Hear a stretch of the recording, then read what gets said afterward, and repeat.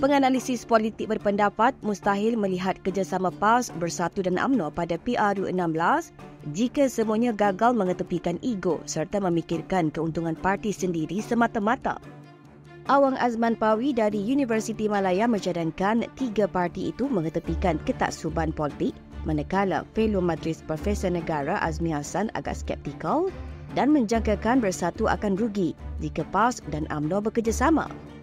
Menurut Awang Azman, kerjasama tidak seharusnya terhad kepada tiga parti terbabit namun perlu diperluaskan kepada amanah jika ingin bergerak serta menyokong agenda Melayu. Sementara Azmi berpendapat respon positif bersatu terhadap kerjasama itu mungkin tidak mahu dilihat enggan menyokong agenda penyatuan Parti Melayu walaupun sebenarnya mereka berasa bimbang. Ura-ura kerjasama Parti Melayu menjelang PRU 16 semakin hangat diperkatakan sesulan kenyataan Ketua Penerangan PAS Ahmad Paldi Syari yang mendakwa berlaku siri pertemuan PAS bersama pemimpin AMNO untuk tujuan itu.